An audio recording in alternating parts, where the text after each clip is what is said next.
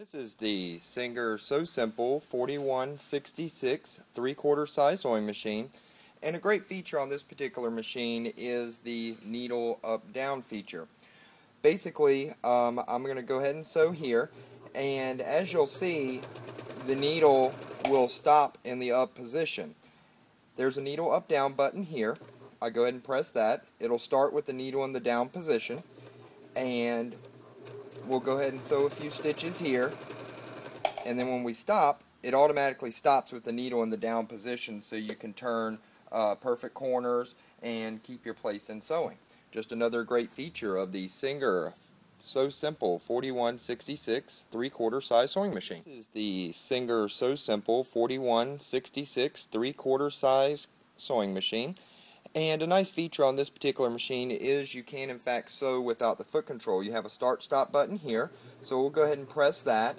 And you also have a speed control, so I can slow this down to, you know, just a few stitches uh, per minute. And I can also speed it up, and everything it can be controlled right here from the start stop button. And you also have a button here that just allows you to do a couple stitches when you stop, it'll stop the machine.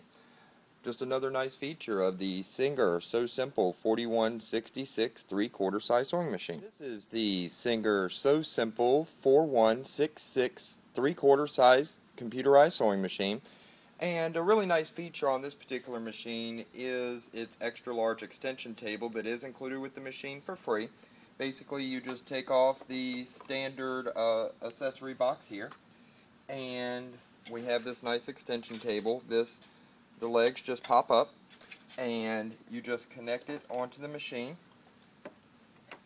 like so and it gives you this very nice uh, extra large work surface for big bulky items, quilts, uh, big blankets and things like that so it doesn't sag off of the edge.